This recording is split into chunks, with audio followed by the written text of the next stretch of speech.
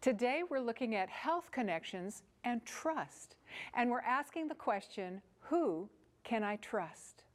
Trust is defined as confidence or calm reliance in the ability, strength, or dependability of something or someone.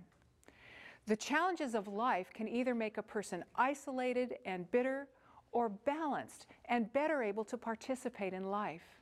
How we handle hardship has more to do with mental, physical, and spiritual health than many realize. We're living in times of increased stress and uncertainty. Trust is hardwired into babies, and ideally, trust should grow. Betrayals, loss, and failed relationships cause a loss of trust. Trust, optimism, and freedom from chronic anxiety yield valuable physical and mental health benefits. The healthiest social relationships are marked by trust, cooperation, and fairness. Trust doesn't mean being gullible or allowing abuse, but it's recognizing flaws and imperfections in ourselves and others, but knowing that growth and strength are possible, even in imperfect situations with imperfect people.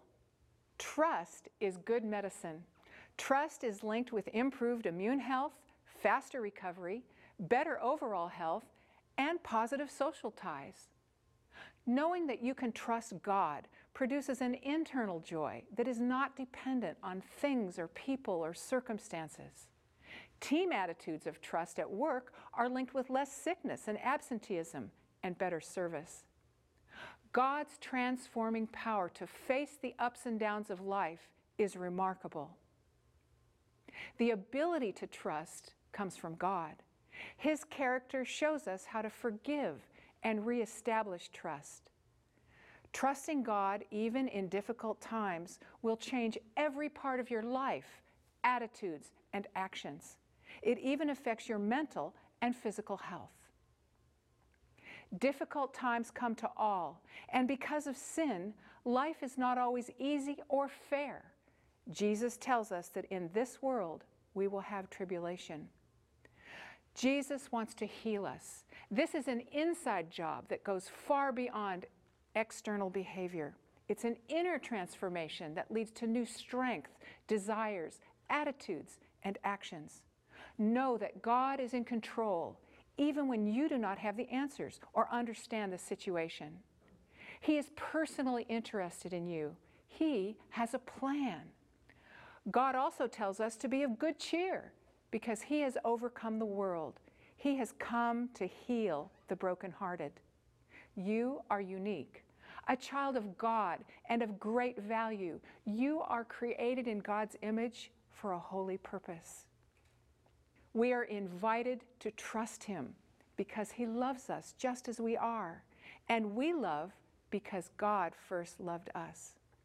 When we accept God's unconditional love for us and wholly trust in His power to transform our lives, amazing things begin to happen. Healing trust is real. God's love will prompt you to make healthy choices. Surround yourself with a health promoting environment. Be active in mind and body. It will prompt you to be available to others, to have a positive outlook, and to trust Him fully with your life. We are energized to take better care of ourselves in order to reflect His character to a needy world.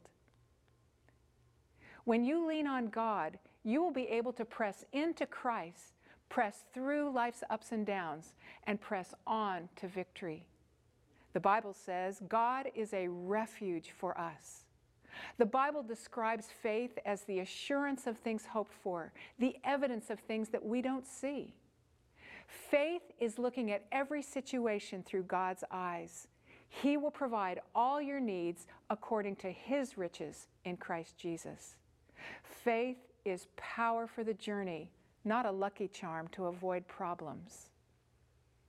God invites you to trust Him with your daily life and present situation, to allow Him to calm and lead you, and to spend time in His Word because it is there that you will learn to trust Him more. These steps of trust have more to do with mental, physical, and spiritual health than many realize.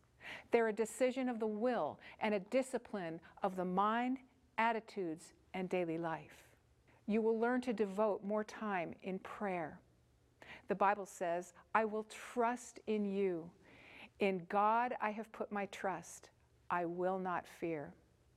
As God has spoken to your heart, will you make the decision to trust Him with your life and your circumstances? Trust in Christ, your Redeemer. He will save you, heal you, and guide you through every circumstance of life.